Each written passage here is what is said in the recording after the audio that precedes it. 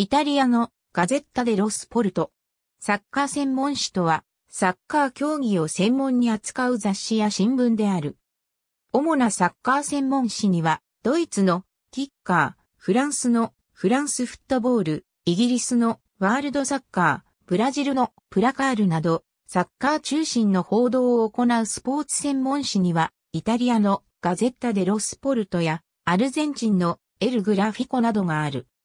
日本では1966年にサッカーマガジンが創刊されたのが始まりで、1971年にイレブン、1979年にサッカーダイジェスト、1986年にストライカーが創刊され、インターネットや衛星放送の存在しない時代に、サッカー関係者やファンにとって貴重な情報源となった。この当時は、サッカー少年を含む競技者や指導者を主な対象とし、国内中心の雑誌作りが行われていたが、欧米サッカーへの関心の高まりを受け、国外情報の掲載も行われた。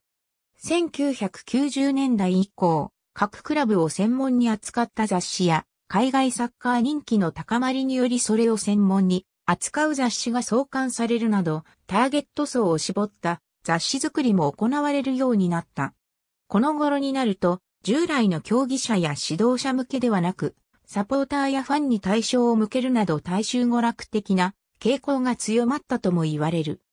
2010年代になり、日本国内だけでなく、欧米でも出版不況やインターネットの普及に押され廃刊となるケースや従来の紙媒体からウェブサイトへ移行するケースが増えており、廃刊誌の中にはスペインのドンバロンも含まれている。2021年4月現在。ありがとうございます。